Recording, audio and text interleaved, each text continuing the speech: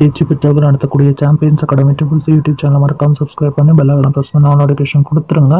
டெலிகிராமில் ஜாயின் பண்ணிக்கோங்க. Daily test free daily online class free daily materials free எந்தெந்த time எப்பப்போ கொடுப்போம் எல்லாமே டிஸ்கிரிப்ஷனில் இருக்க. பார்த்துக்கோங்க. இப்போ கிளாஸை பார்த்து ஆசிரியர் தகுதி தேர்வுக்கு இலவசமாக மாதிரி தேர்வுகள்லாம் வழங்கிட்டு இருக்கோம். அதில் ஹாய் ஃப்ரெண்ட்ஸ் நம்ம வந்து கொஸ்டின்ஸ் பார்த்துடலாம். தேர்வுக்கு எல்லாம் தயாராக இருக்கீங்களா?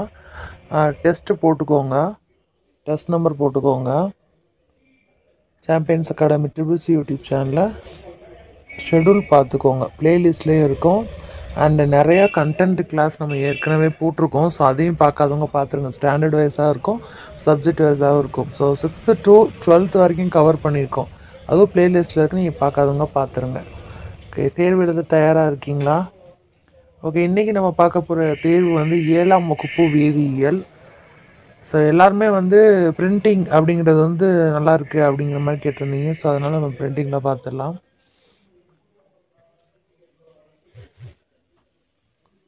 முதல் கேள்வி. அணுவின் சராசரி விட்டம் என்ன? அணுவின் சராசரி விட்டம் என்ன?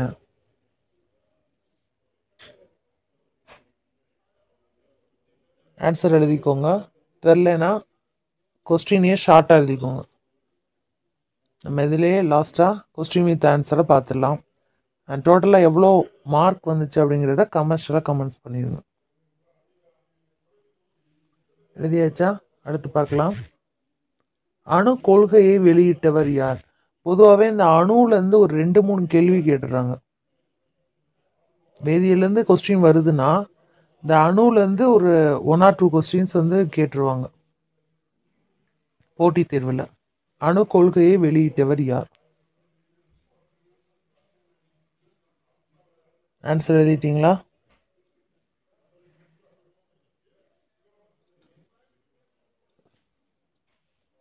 ஓகே அடுத்து பார்க்கலாம்.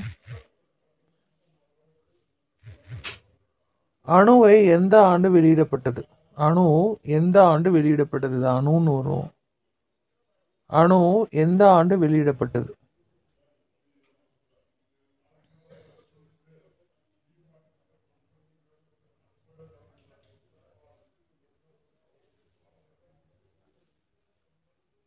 எழுதியாச்சா? அண்ட் முக்கியமான டாப்பிக்கு முக்கியமான கேள்வி பதில்களை தான் நாங்கள் கொடுப்போம். சரியா? நிறைய பேர் வந்து டாபிக் வந்து ஒன் ஆர் டூ மட்டும் இருக்குது அப்படின்னு நினைக்கிறேன். அப்படிலாம் இல்லைங்க. எல்லாமே கலந்து தான் மிங்கிள் ஆகி வரும் உங்களுக்கு. இப்போ ஒரு பருவத்தில் நீங்கள் வேதியியல்லாம் வேதியியல் ஃபுல்லாக தான் கலந்து வரும்.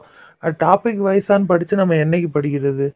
டாபிக் வைஸாக போடுங்க அப்படிங்கிறீங்க. அது வந்து நம்ம வந்து கோ இது வந்து நம்ம எக்ஸாம் எழுத போகிறது நம்ம போட்டித் தேர்வுக்கு தயாரான இந்த மாதிரி தான் அவங்க வந்து நமக்கு பிளான் பண்ணியிருப்பாங்க. சரியா?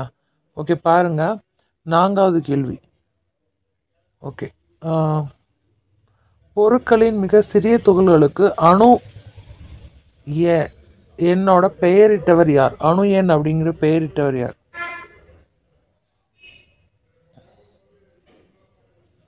பொருட்களோட மிக சிறிய பொரு துகள்களுக்கு அணு என பெயரிட்டவர் யார்?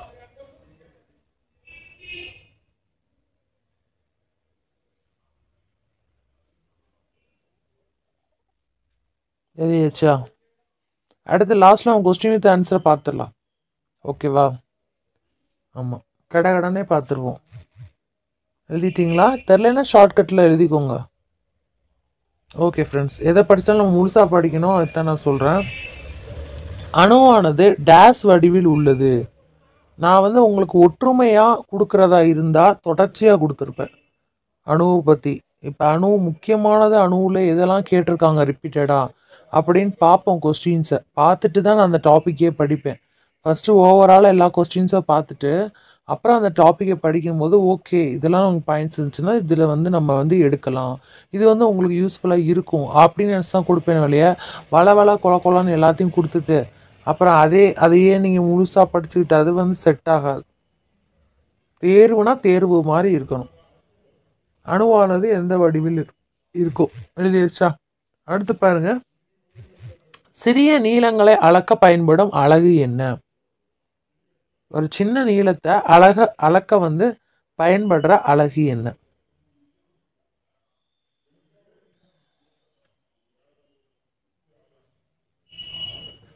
எழுதியாச்சா?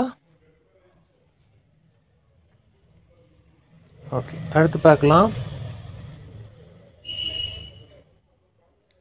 ஒரு மீட்டர் என்பது டேஸ் ஆகும். இது இந்த கேள்வி ஏன் கொடுத்துருக்கேன்னா ரொம்ப சிம்பிளாக இருக்குது அப்படின்னு நீங்கள் யோசிக்க வேணாம். அதாவது ஓ- எல்லா கேள்வியும் கடினமாக இருக்கும்போது ஒன்று ஒன்று ரெண்டு கேள்வி வந்து எளிய எளிமையாக இருக்கிற மாதிரி தான் கொடுப்பாங்க. தேர்வுலையுமே பார்த்துருப்பீங்க. நம்மளுக்கு தெரிந்த ஒரு கேள்வியை கொடுப்பாங்க. எல்லாருக்குமே அந்த கேள்விக்கு விடை தெரியும். அந்த மாதிரி ஏன் கொடுக்குறாங்கன்னா நம்மளுக்கு மோட்டிவேட் பண்ணுறதுக்கு ஓகே நம்மளுக்கு ஒரு நம்பிக்கை கொடுக்குறதுக்கு. நம்ம வந்து தெரியுது. அப்போ நம்ம என்ன நினைப்போம்? பரிசு எழுதிட்டு வந்ததுக்கப்புறம் நம்ம தெரிஞ்சதா எதுவும் நல்லதாக தான் அப்படின்னு நினைப்போம். அந்த ஒரு பாசிட்டிவ் வர்றதுக்கானே அவங்க கொடுக்குறாங்க. ஸோ அதே மெத்தட் தான் நாங்களும் யூஸ் பண்ணுறோம் ஸோ ஒவ்வொரு டெஸ்ட்லேயுமே உங்களுக்கு கண்டிப்பாக வந்து தெரிந்த கேள்விகள் ஒன்று ரெண்டு இருக்கணுங்கிறக்கானே கொடுக்குறோம். வெளிப்படையான கேள்விகள்.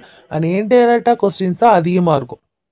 ஆனால் ரொம்ப வந்து சூப்பர் ஃப்ரெண்ட்ஸ் நீங்கள் வந்து எழுதுகிற எக்ஸாம் எல்லாத்துலேயுமே நிறைய பேர் தேர்ட்டிக்கு அபவ் டுவெண்ட்டி செவன் டுவெண்ட்டி ஃபைவ்லாம் எடுக்கிறாங்க. ஸோ ரொம்ப தரவாக இருக்காங்க. அபவ் டுவெண்ட்டி எடுத்தாலே நீங்கள் படிக்கிறீங்கன்னு தான் அர்த்தம். சரியா? படிக்கிறீங்கன்னு தான் அர்த்தம். ஓகேவா எழுதியாச்சு அதுக்கு? ஓகே அடுத்து பாருங்கள் ஜே ஜே தாம்சன் அணுவின் மற்றும் கொள்கையை எந்த ஆண்டு வெளியிட்டார்?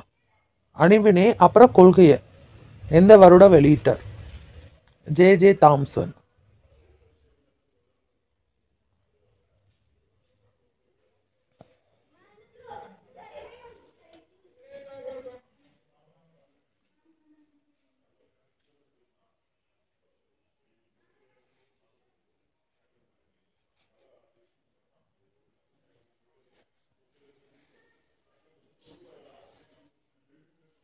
ஓகே அடுத்து பார்க்கலாமா? அணுவினை தர்பூசணி பழத்துடன் ஒப்பிட்டவர் யார்?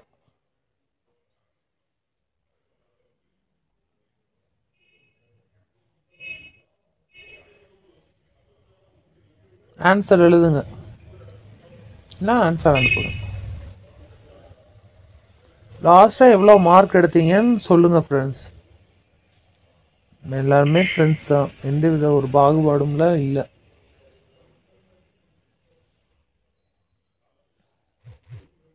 அடுத்து பாருங்க. அணுவில் எதிர்மின் சுமை பெற்ற துகள்களான எலக்ட்ரான்கள் காணப்படுகின்றன என நிரூபித்தவர் யார்?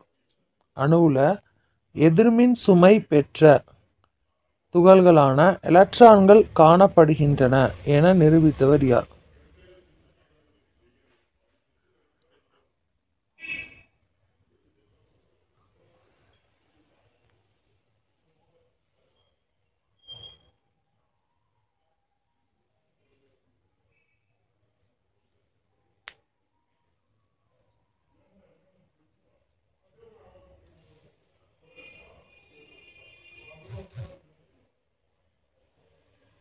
ஓகே அடுத்து பார்க்கலாமா?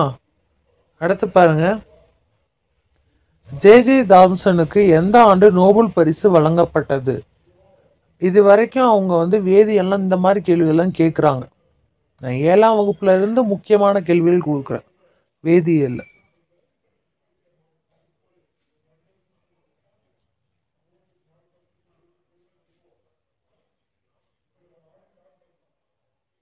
ஓகே அடுத்து பார்க்கலாமா? நேர் பின் நேர் மின்னோட்டம் ஆல்பா கதிர்கள் மற்றும் பிற கதைகளிலுள்ள கதிர்கள் பின்னோக்கி வருவதையும் கண்டுபிடித்தவர் யார்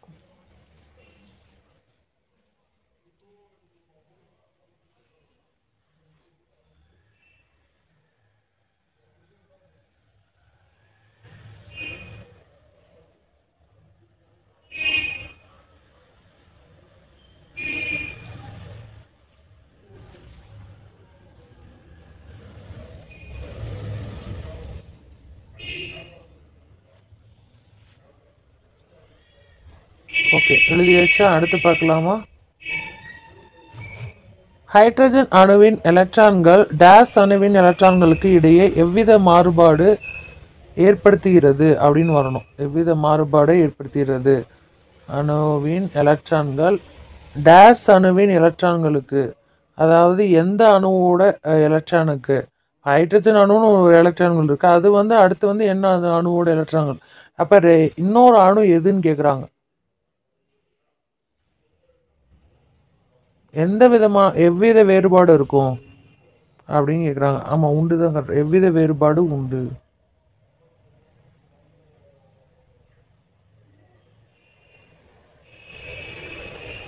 ஆன்சர் எழுதிட்டீங்களா?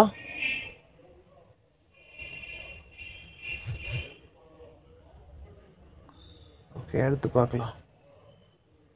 அடுத்த கொஸ்டின் வித் ஆன்சரை நம்ம பார்த்துடலாம். ஒன்றும் பயப்பட வேணாம். அணுவின் அடிப்படை துகள்கள் என அழைக்கப்படுவது எது அணுவோட அடிப்படை துகள் என அழைக்கப்படுறது எது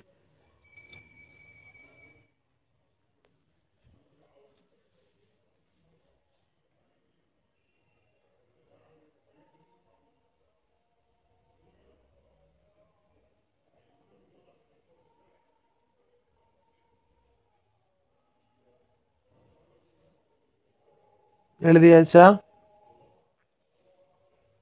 ஓகே அடுத்து பார்க்கலாம். டேஸ் என்பதை அணுக்கருவினுள் அமைந்துள்ள நேர் மின்னோட்டம் பெற்ற துகள்கள் ஆகும் எது அணுக்கருவோடு அமைந்துள்ள நேர்மின் நோட்டம் பெற்ற துகள்? அப்படின்னு கேட்குறாங்க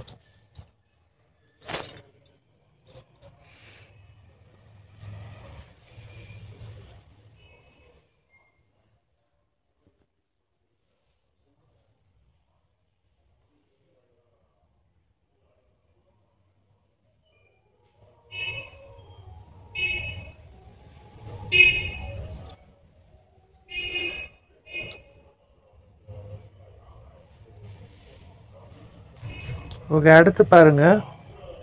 எந்த தனிமத்தை தவிர அனைத்து அணுக்கருகளுக்கும் நியூட்ரான்களை கொண்டுள்ளன? எந்த தனிமை தனிமத்தை தவிர அனைத்து அணுக்களுக்கும் நியூட்ரான்களை கொண்டுள்ளன?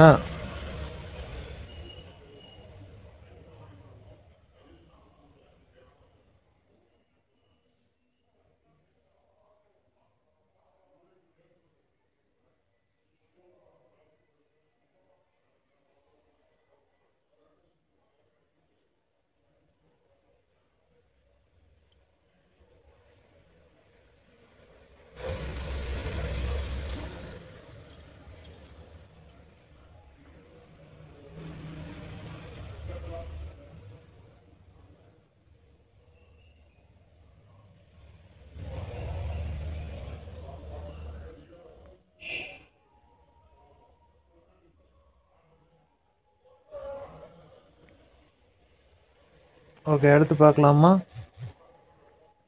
அணுக்கருவை சுற்றி ஒரு வட்டப்பாதையில் சுற்றி வரும் துகள் எது? ஆன்சர் வேகமாக எழுதுங்க. ரொம்ப நேரம் எடுத்துக்கிற வேணாம்.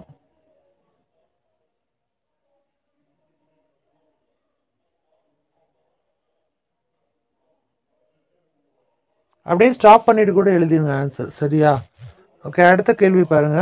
பதினெட்டாவது கேள்வி அணுக்கருவினுள் காணப்படும் எந்த இரண்டு வகையான துகள்கள் நியூக்ளியான்கள் என அழைக்கப்படுது?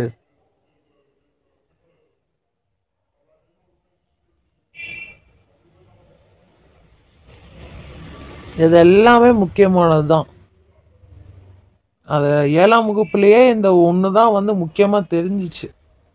சரியா?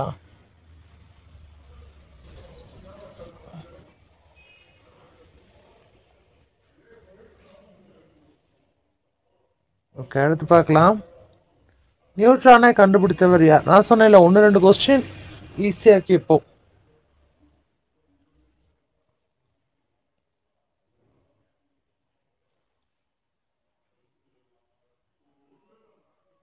ஆன்சர் அனுப்பிட்டீங்களா? தெரியலனா எழுதிருங்க. ஓகே அந்த இதுலேயே நம்ம ஆன்சர் செக் பண்ணிடுவோம். புரோட்டான் மின் சுமை என்ன? இது ரொம்ப ரொம்ப இம்பார்ட்டன்ட் இதை வந்து டெட்டில் ஒரு தடவை கேட்டிருக்காங்க. போட்டி தேர்வுலாம் சாதாரணமாக வரும். புரோட்டான் மின்சுமை என்ன? அடுத்து பாருங்கள் ஒற்றுமையை நான் கொடுத்துருப்பேன். நியூட்ரான் மின்சுமை என்ன? எலக்ட்ரான் மின்சுமை என்ன அப்படின்னு கேட்டிருப்பேன். இந்த ரெண்டு கேள்வியும் எழுதுங்க. புரோட்டான் எலக்ட்ரான் நியூட்ரான் மூணோட மின்சுமை என்ன?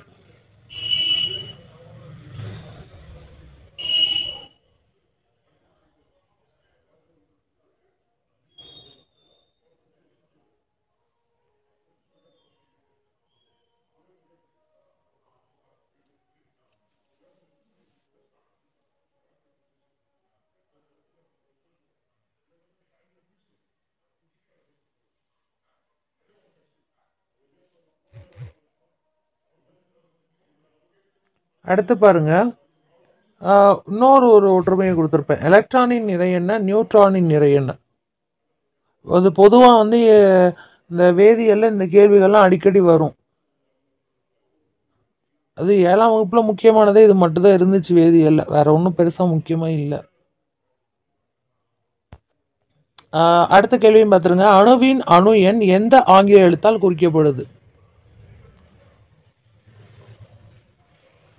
டெஸ்ட் ஷெட்யூல் பார்க்காதவங்க டிஸ்கிரிப்ஷனில் பார்த்துருங்க ஃப்ரெண்ட்ஸ் அப்புறம் ஒவ்வொரு டெஸ்டோட எண்ட்லேயும் அடுத்து நீங்கள் என்ன படிக்கணுமோ அதோட ஸ்லைடு வந்து டிஸ்ப்ளே ஆகும். அண்ட் உங்களுக்கு ஞாபகம் இருக்குன்னு நினைக்கிறேன் தமிழ் இங்கிலீஷு சைக்காலஜிக்கு ஷெட்யூல் போட சொல்லியிருந்தீங்க. அது பெரிய விஷயமே கிடையாது. நாங்கள் ஷெட்யூல் உடனே வெளியிட்டுருவோம். வெளியிட்டு அதுவும் போட்டுருவோம். ஸோ வந்து நீங்கள் அதுலேயுமே வந்து பயன்பெறலாம். மாநில அளவிலான இலவச தேர்வுகள் தான் நடக்கும். ஓகே அடுத்து பாருங்க. டேஸ் என்பது அணுக்கருவினில் உள்ள மொத்த புரோட்டான்கள் மற்றும் நியூட்ரான்களின் எண்ணிக்கையின் கூடுதலுக்கு சமமாகும்.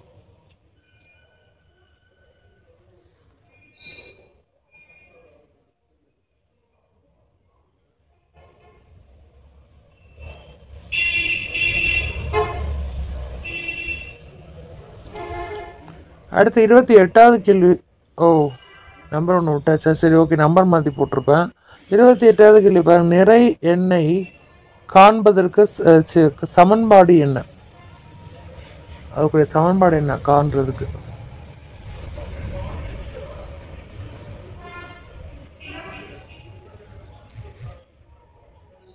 அதுக்கப்புறம் லித்தியத்தோட நிறை என்ன? அதுவும் கேட்டிருக்கோம். லித்தியத்தோட நிறைய வந்து வல்லுநர்கள் எப்படி சொல்கிறாங்க என்னன்னு குறிப்பிட்டிருந்தாங்க. ஆன்சர் எழுதியாச்சா? எழுதிட்டே தானே வர்றீங்க? ஆன்சர் தரலன்னா கொஸ்டின் எழுதிடுங்க. சும்மா ஷார்ட்டாக எழுதிடுங்க. இப்போ நம்ம ஆன்சர் பார்க்க போகிறோம் அவ்வளோதான் முடிஞ்சிச்சு. ஆன்சர் பார்த்துருவோம். சரியா? சோடியமான டேஸ் நிறை எண்ணெய் உடையது. சோடியம் வந்து எந்த எத்த- எந்த நிறை எண்ணெய் உடையது? அவ்வளோதாங்க இப்போ எல்லாம் எழுதி முடிச்சிட்டிங்களா? இப்போ நம்ம ஆன்சர் பார்த்துடலாமா? ஏழாம் வகுப்பு வேதியியல்ல. இப்போ நம்ம விடையோட பார்த்தலாம். நம்ம உங்களுடைய நீங்கள் செக் பண்ணுங்கள் கொஸ்டின்ஸ்க்கு எவ்வளோ ஆன்சர் எழுதிக்கிங்க எவ்வளோ மார்க் நம்மளுக்கு வந்திருக்கு? அதை விட நம்ம பார்த்துடலாம் கொஸ்டின் வித் ஆன்சராக நீங்கள் படிக்கும்போது கன்ஃபார்மாக உங்கள் மைண்டில் செட் ஆகும். நான் கேட்குறது எல்லாமே ரிப்பீட்டட் கொஸ்டின்ஸ் தான் நான் எடுப்பேன். அதனால் வந்து உங்களுக்கு ஈஸியாக இருக்கும். கண்டிப்பாக மார்க் நம்மளுக்கு அதிகமாக ஸ்கோர் பண்ணலாம். சரியா? நம்மளுக்கு டிசம்பர் மந்த் வந்து வர்ற மாதிரி இருக்குது எக்ஸாம் நான் தான் ஃபஸ்ட்டு சொன்னேன்ல உங்களுக்கு. சரியா அதை பார்த்துக்கோங்க. அணுவின் சராசரி விட்டம் என்ன? அணுவோட சராசரி விட்டம் என்னன்னு கேட்டோமா? அதுக்கு என்ன வந்துச்சுன்னா ஒன்று இன்ட்டு பத்தின் அடுக்கு மைனஸ் ஒன்பது மீட்டர்.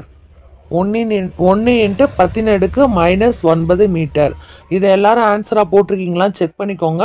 போடாதவங்க டக்குன்னு நம்ம ப்ளே பண்ணியிருக்க இந்த வீடியோவை டக்குன்னு ஸ்டாப் பண்ணிவிட்டு பார்த்து டக்கு டக்குன்னு எழுதிடுங்க ஏன்னா நீங்கள் ஒரு தடவை எழுதுனா நூறு தடவை படித்தது சமம். ஓகேயா அதுக்கப்புறம் பாருங்க அணு கொள்கையை வெளியிட்டவர் யார்? John Dalton. அணு கொள்கையை வெளியிட்டவர் யார்? John Dalton. நம்ம ஃப்ரெண்ட்ஸ்லாம் வந்து ஒருத்தர் வந்து ரொம்ப அந்த ஆன்சர் ஃபுல்லாமே எழுதியிருப்பார். உண்மையிலேயே வந்து எவ்வளோ ஒரு இதுன்னா அதிலே எழுதுறாங்க பார்த்தீங்களா ஸோ அப்போ என்ன அர்த்தம்னா எல்லா டயத்துலையும் கரெக்டாக ஃபாலோ பண்ணி படித்து வர்றாங்க. அவங்க வந்து பிரிண்டிங்கோ ரிட்டர்னோ அதெல்லாம் எதுவுமே தேவையில்லை. அவங்களுக்கு தேவை கொஸ்டின் நம்மளை டெஸ்ட் பண்ணக்கூடிய ஒரு தேர்வு தான் உங்களை நீங்களே எவாலுவேட் பண்ணுறதுக்கு நான் ஹெல்ப் பண்ணுறேன் அவ்வளோதான் ஸோ இது வந்து ஒரு ஒரு எவாலுவேட் பண்ணுற ஒரு இது. மதிப்பீடு பண்ணுறீங்க ஸோ அதனால் வந்து நம்ம வந்து நம்மளை நாமளே மதிப்பீடு பண்ண முடியாது. அதனால் ஒரு ஆள் நாங்கள் பண்ணும்போது நீங்கள் பண்ணிக்கிறீங்களா? அப்போ உங்களுக்கு வந்து ஓகே நம்ம கெத்து தான். தேர்ட்டிக்கு தேர்ட்டி வாங்கிட்டோம். தேர்ட்டிக்கு டுவெண்ட்டி செவன் வாங்கிட்டோம். அப்படிங்கிற ஒரு கெத்து உங்கள்கிட்ட இருக்கும். தேர்ட்டி டுவெண்ட்டி வாங்கினாலும் நீங்கள் படிச்சிருக்கீங்கன்னு தான் அர்த்தம். டுவெண்ட்டி வாங்குறது சாதாரண விஷயம் இல்லை. முப்பது கேள்விக்கு நான் வந்து இருபது மார்க் வாங்குறேன். நான் எடுக்கிற முப்பது கேள்விக்கு நீங்கள் இருபது மார்க் வாங்குறீங்க அப்படின்னா அந்தளவுக்கு நீங்கள் படிச்சிருக்கீங்கன்னு அர்த்தம். சரியா? எல்லாராலையுமே அவ்வளோ எடுக்க முடியாது. சரியா?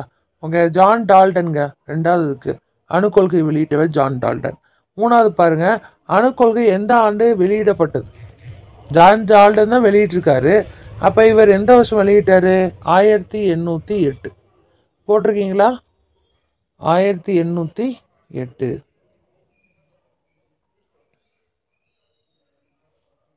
ஓகே அடுத்து பார்க்கலாமா? எழுதாதவங்க டக்குன்னு ஸ்டாப் பண்ணி எழுதிக்கோங்க. பருப்பொருட்களின் மிக சிறிய துகள்களுக்கு அணு என பெயரிட்டவர் யார்? அதாவது பருப்பொருட்களோட மிக சிறிய துகள்களுக்கு அணு என பெயரிட்டவர் யார்? John Dalton. அவரே தான் அணுக்கொள்கையை வெளியிட்டவரும் அவர்தான். அணுக்கொள்கை எந்த ஆண்டு வெளியிடப்படும் பெற்றால் ஆயிரத்தி எண்ணூற்றி எட்டில் தான் பருப்பொருட்களோட மிக சிறிய துகள்களுக்கு அணுன்னு பேர் வச்சது யார்? John Dalton. சரியா? ஸோ கரெக்டாக இருக்கலாம் செக் பண்ணிக்கோங்க.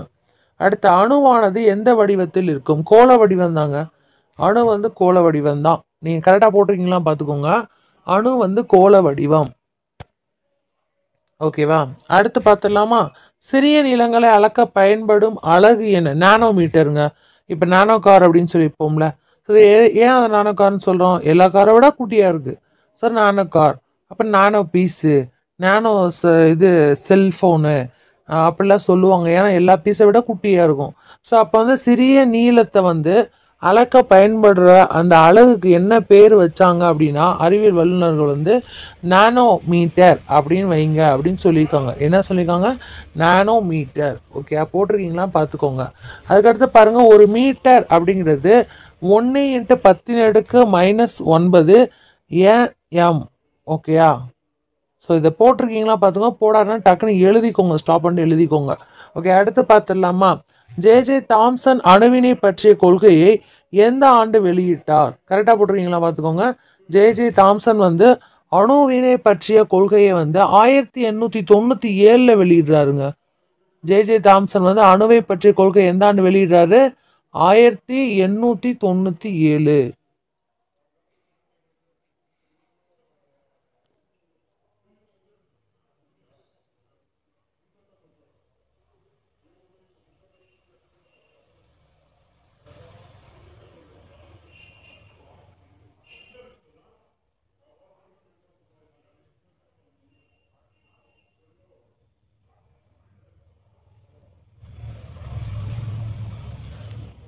ஓகே அடுத்து பார்த்துடலாமா?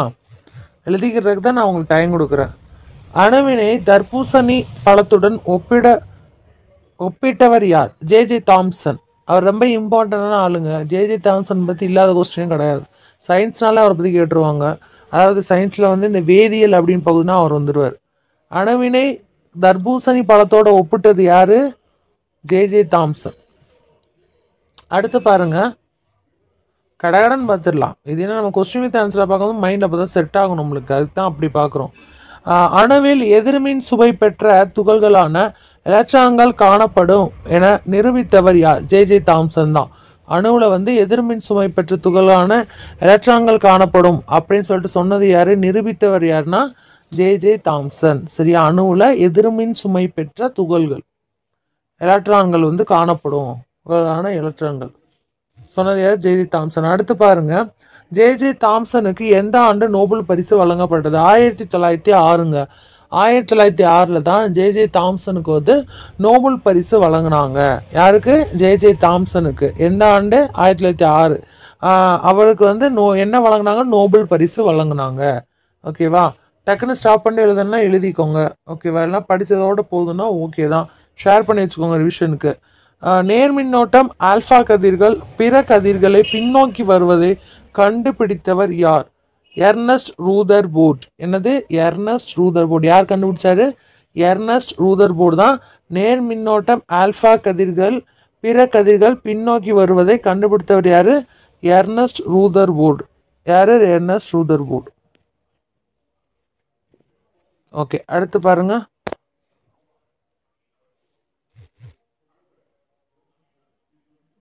ஹைட்ரஜன் அணுவின் எலக்ட்ரான்களுக்கு டேஸ் அணுவின் எலக்ட்ரான்களுக்கு இடையில் எவ்வித மாறுபாடும் இல்லை அப்படின்னு சொல்லி சொன்னது யாரு? சரி அது சாரி சொன்னது யாருன்னு இல்லை சாரி சாரி டேஸ் அணுவோட எலக்ட்ரான்கள். இன்னொரு அணுவோட பேர் என்னன்னு கேட்குறேன் இதை வந்து நம்ம கேட்டோம். ஆன்சர் வந்து பாருங்கள் கார்பன். இதான் இப்பயும் கேட்டேன். ஏன்னா முக்கியமானதாக திரும்ப கேட்டேன். தெரிஞ்ச சொல்லுவீங்கன்னு. கார்பன். ஹைட்ரஜன் அணுவின் எலக்ட்ரான்களுக்கும் கார்பன் அணுவோட எலக்ட்ரான்களுக்கு இடையில எந்தவித மாறுபாடுமே எப்பயுமே இருக்காதான் சரியா? அப்போ ஹைட்ரஜன் அணுவோட எலக்ட்ரான்களுக்கும் கார்பன் அணுவோட எலக்ட்ரான்களுக்கும் இடையில என்னது? எந்தவித மாறுபாடும் இருக்காதான் ஓகே அடுத்து பாருங்க. அணுவோட அடிப்படை துகள்கள் என அழைக்கப்படுவது எது? புரோட்டான் மற்றும் நியூட்ரான் தாங்க அணுவோட அடிப்படை துகள். அணுவோட அடிப்படை துகள் எதை எதை சொல்கிறோம் புரோட்டான் மற்றும் நியூட்ரான். ஓகே அடுத்து பாருங்க. டேஸ் என்பவை அணுக்கருவினுள் அமைந்துள்ள நேர்மின்னோட்ட பெற்ற துகள்கள் ஆகும். எது வந்து அணுக்கரோடு அமைந்துள்ள நேர்மின் நேர்மின்னோட்ட பெற்ற துகள்? புரோட்டான்கள். எது? புரோட்டான்கள். எழுதிக்கிட்டீங்களா? கரெக்டாக எழுதிக்கிங்களா கரெக்டாக தான் சந்தோஷம் தான் எனக்கு. எந்த தனிமத்தை தவிர அனைத்து அணுக்கருக்களும் அணு ஆமாம் அணுக்கருக்களும் நியூட்ரான்களை கொண்டு உள்ளன. ஹைட்ரஜன். எந்த தனிமத்தை தவிர அனைத்து அணுக்களும் அணுக்கருக்களும் நியூட்ரான்களை கொண்டிருக்கு? ஹைட்ரஜன். சரியா? ஹைட்ரஜன் ஓகே அடுத்து பாருங்க. அணுக்கருவை சுற்றி ஒரு வட்டப்பாதையை சுற்றி வரும் துகள் எது? அணுக்கருவை சுற்றி ஒரு வட்டப்பாதை சுற்றி வரும் துகள் எது? எலக்ட்ரான்கள் அணுக்கருவை சுற்றி ஒரு வட்டப்பாதையில் சுற்றி வரும் துகள் எது? எலக்ட்ரான்கள் எலக்ட்ரான்கள் போட்டிருக்கீங்களான்னு செக் பண்ணிக்கோங்க. ஸ்டாப் பண்ணிட்டு செக் பண்ணிக்கோங்க. அண்ட் நீங்கள் போடலைன்னா கொஸ்டின் ஷார்ட்டாக எழுதிட்டு ஆன்சர் எழுதிக்கோங்க. நான் திரும்ப திரும்ப ஏன் சொல்லனா ரிவிஷனுக்கு அதுதான் யூஸ் ஆகும். இல்லைன்னா ஷேர் பண்ணிக்கணும் வீடியோவை ஓகே அணுக்கருவினில் காணப்படும் எந்த ரெண்டு வகையான துகள்கள் நியூக்ளான்கள் என அழைக்கப்படுகிறது? அதாவது அணுக்கருவில் காணப்படும் எந்த ரெண்டு வகையான துகள்கள் நியூக்ளான்கள் என அழைக்கப்படுது? புரோட்டான்கள் மற்றும் நியூட்ரான்கள் தான். சரியா? புரோட்டான்கள் மற்றும் நியூட்ரான்கள். அணுக்கருவினில் காணப்படும் எந்த ரெண்டு வகையான துகள்கள் நியூட்ரான்கள் என அழைக்கப்படுது? புரோட்டான்கள் மற்றும் நியூட்ரான்கள். நியூட்ரானை கண்டறிந்தவர் யார்? ஜேம்ஸ் ஷார்ட்விக் நியூட்ரானை கண்டது யார்? James Chadwick. நியூட்ரானை கண்டது யார்? James Chadwick. ஓகே அடுத்து பாருங்கள் புரோட்டோ நான் சொன்ன முக்கியமான கேள்வி. புரோட்டான் மின்சுமை எண் என்ன? ஒன்று. போட்டிருக்கீங்களா? புரோட்டான் மின்சுமை எண் என்ன? ஒன்று. போட்டிருக்கீங்களா?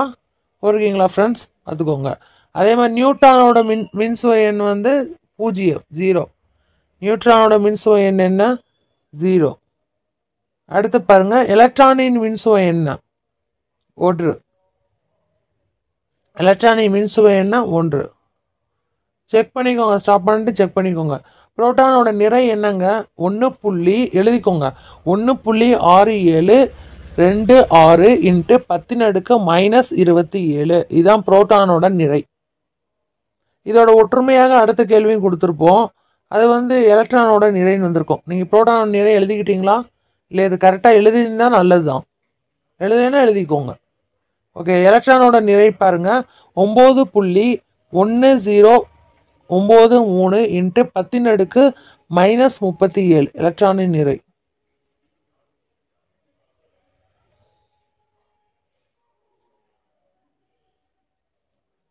ஓகே அடுத்து பார்க்கலாமா? நியூட்ரானின் நிறை என்ன?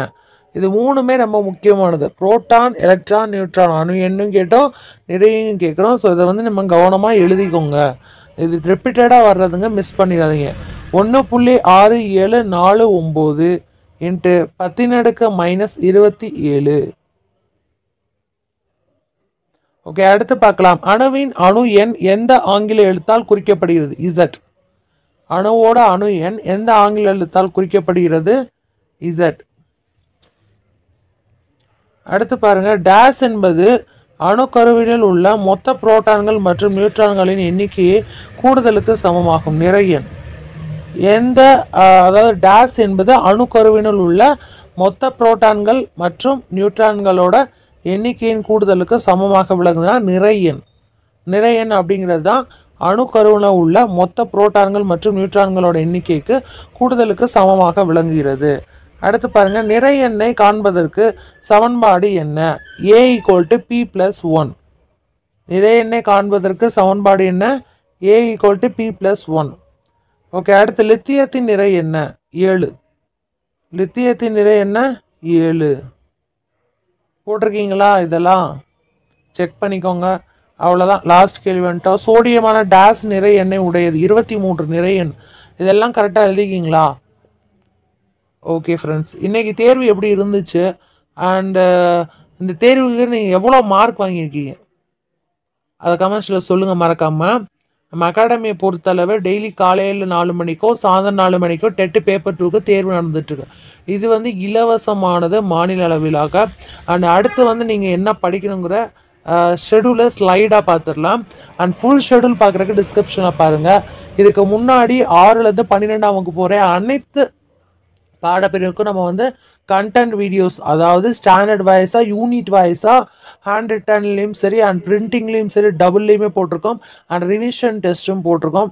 ஸோ அதையும் மூணையுமே பார்க்காதவங்க பார்த்துருங்க. ஒவ்வொரு பிளேஸ்லிஸ்ட் பிளேலிஸ்ட்டில் போனீங்கன்னா டைட்டில் வைஸாகவே இருக்கும். பார்த்துருங்க ஃப்ரெண்ட்ஸ் அண்ட் நெக்ஸ்ட்டு வந்து உங்களுக்கு வந்து அடுத்து நீங்கள் என்ன படிக்கணுங்கிற ஷெடியூலில் இப்போ நம்ம பார்த்துடலாம். ஓகேவா அண்ட் மறக்காமல் கமெண்ட்ஸில் கமெண்ட் பண்ணுங்கள் அண்ட் ஒரு லைக் கொடுத்து நீங்கள் ஷேர் பண்ணி வச்சுக்கோங்க சப்ஸ்கிரைப் பண்ணுங்கள் ஃபஸ்ட்டு டெலகிராமில் கன்ஃபார்மாக ஜாயின் பண்ணுங்கள் அப்போ தான் நீங்கள் நோட்டிஃபிகேஷன் மிஸ் பண்ணாமல் இருக்க முடியும்.